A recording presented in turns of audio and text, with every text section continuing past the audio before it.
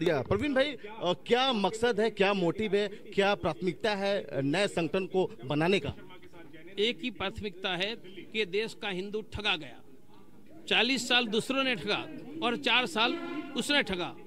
क्योंकि संसद में राम मंदिर का कानून बनना चाहिए, क्यों नहीं बना? गौहत्याबंदी का कानून क्यों नहीं बना? कश्मीर के हिंदू को क्यों नहीं बसाया? बांग्लादेशियों को क्यों नहीं हटाया? किसानों को कर्ज मुक्त क्यों नहीं किया? उसका अर्थ क्या है? यह देश का हिंदू ठगा गया है। अब हम ठगने नहीं देंगे।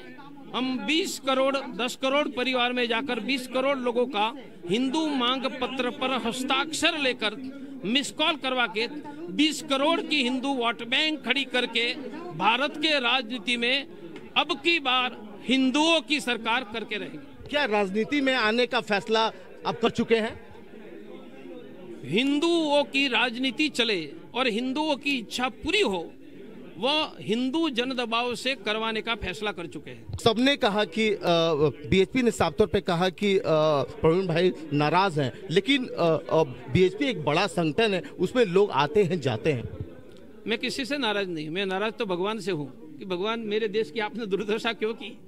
यहाँ किसान आत्महत्या क्यों कर रहा है? बेरोजगार युवान फांसी क्यों खा रहा है? सेना पर सीमा पर सैनिक मर क्यों रहा है? राम मंदिर क्यों नहीं बना?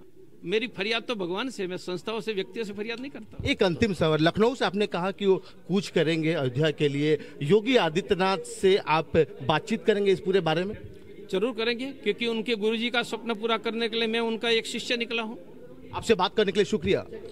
कैमरामैन राहुल के साथ पुष्कल भारत समाचार दिल्ली।